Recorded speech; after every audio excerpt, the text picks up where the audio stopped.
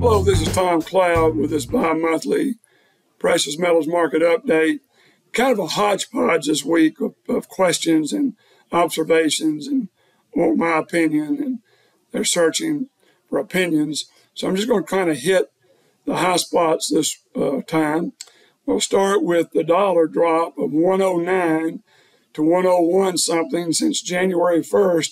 We've seen the dollar go down 8%, and that's the reason gold's gone up 8%. The stock market's done nothing. So you sit and look and realize that the dollar drop as it goes to double digits, meaning below 100 to 98. 92, when it gets below that, is going to free fall.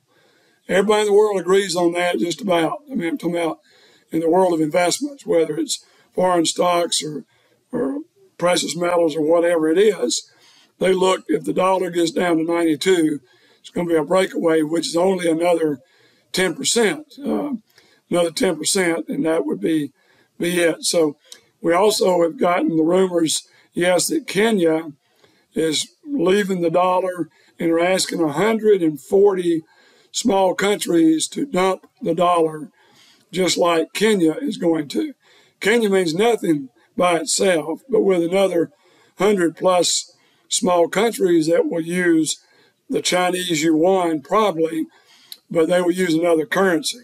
So that is something that we've got to watch.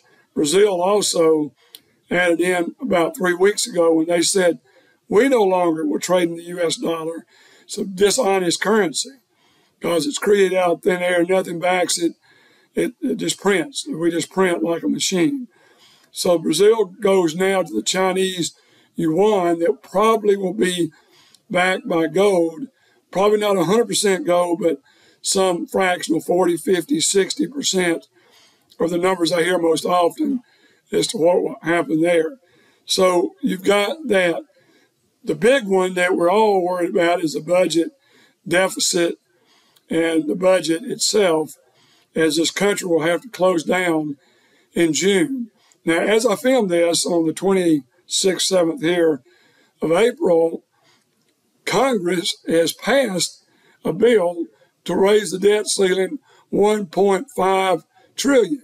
Well, that's nothing. The interest alone on the debt is 4% on $32 trillion. Oh, it's over 1.2 trillion just on the debt, uh, the interest on the debt. So you look at this thing as in a free fall, runaway, and that's the reason the dollar is getting hammered. I mean, hammered to see it this year already go down 8%. And the big stuff hadn't even happened yet, being the battle on the budget. Uh, Biden says he will veto it if if if, if his uh, Congress, his Senate does not uh, vote it down, and they probably will because they control uh, the Senate now, the Democrats. So you look at that rumor that China and with China and Japan, who are the largest owners of our Treasury bills, will start liquidating in the third quarter this year. And that I keep hearing from my European contacts that it's evident they're, they're going to leave, start because our dollar is going down in value.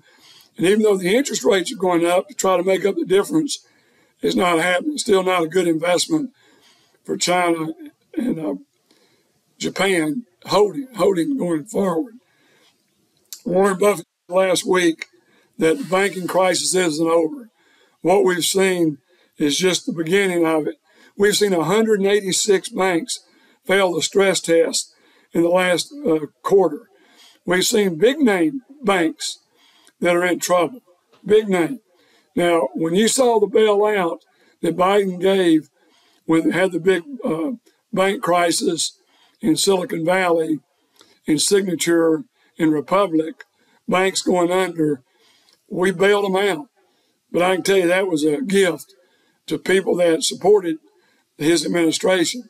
Because remember, in 2008 9, it's Biden himself that stood up and said, We will never bail a bank out again in this country.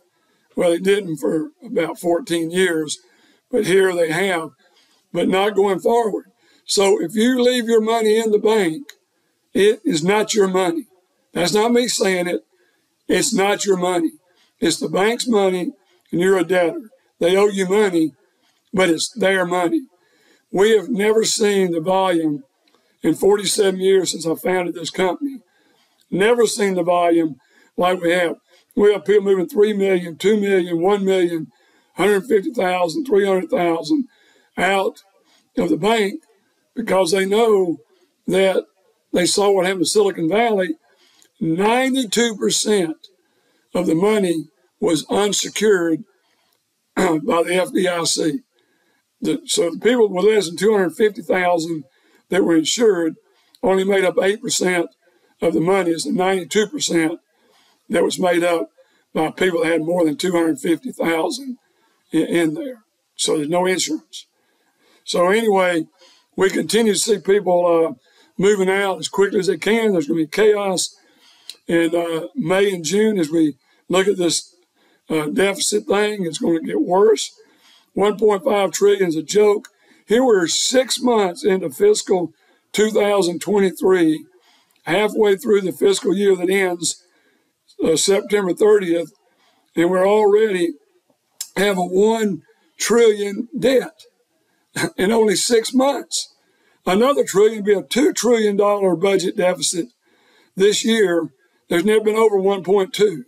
We're talking about another 50% in the budget deficit coming between now and September 30th. And it could get worse than that because interest rates may not be through going up, which could continue to raise interest costs, killing the real estate market, killing the stock market, and continuing to send uh, gold and silver up as real money. And everybody knows when all is said and done, there's a restart worldwide, could be as early as this year. It's going to be gold and silver are going to be the people that win. You should now decide what percentage of your assets you want in metals and get them because they're harder to get. Premiums have been at the highest level ever. How, premium being defined as what I pay from a major wholesaler before I put a markup on it and sell it to you. So we look at that. Um, the other thing that has been huge, we talked about all last year, was the central banks through uh, buying gold and could count it at market value, the only asset beside G7 bonds, stock uh, bonds, uh, their bonds and notes. So you got that situation now, and the Fed stress test uh, is going to continue to see more and more banks not able to pass it. And that's when you'll start seeing, like we've seen in Switzerland, where the biggest bank has bought up, United Bank of Switzerland has bought up Credit Suisse. Credit Suisse, the second biggest in Switzerland, went under owing trillions of dollars. Trillions, not billions, trillions. And that banks in the US going to be the same exact way. It, every day it hasn't happened gives you, the investor, a better chance to get out of it. Get a lot of questions about 401ks. I'll make two comments on them, and that's all. One, we have more people retiring than we've ever had because baby boomers are coming out. And basically, what you should do is take your 401k, put it into two self directed IRAs one for stocks and bonds, one for gold and silver. Then you have two, and you can liquidate and move them back and forth as you need to. But that is mandatory because if you leave it with the company, it can only invest in stocks and bonds. There's not a, a way to do gold and silver, but there is some companies that will give you a loan and you can borrow cash, buy gold and silver, then repay yourself plus a fee. But I, I don't know a lot of people that are doing that. So I say get out of that because the biggest pool of money in the world is the 401k United States market. And if you don't think our government will go and freeze that and make you buy bonds, sell off your stocks, which will send them straight down, and make you buy government securities because they've run out of ways to do it. There's nothing else to do. And that is what you better be scared of. And last but not least, the Sweden, the country of Sweden, put two billion dollars with Silicon Valley Bank. And not as a deposit, this was as an investment.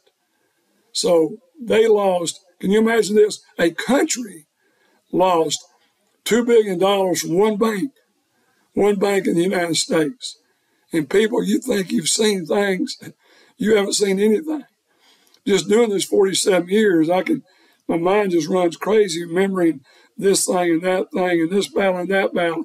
And every time we, the citizens, let them get away with it, we continue to let these, these politicians buy votes by ruining our dollar. And poor middle class always pays the bill because that's where the population is. There's many more them than there are the wealthy. So you've got to be using common sense because when June comes, in my opinion, the chaos and the premiums on metals, the calls coming in, hard to return calls on time, frustration for everybody, I would beat that and get out there in front. We'll continue to do just because they're part of our lives. But just use common sense and diversify as Ecclesiastes 11.2 tells us to divide our wealth, yes, seven or eight ways, because no man knows what disaster will come upon the land.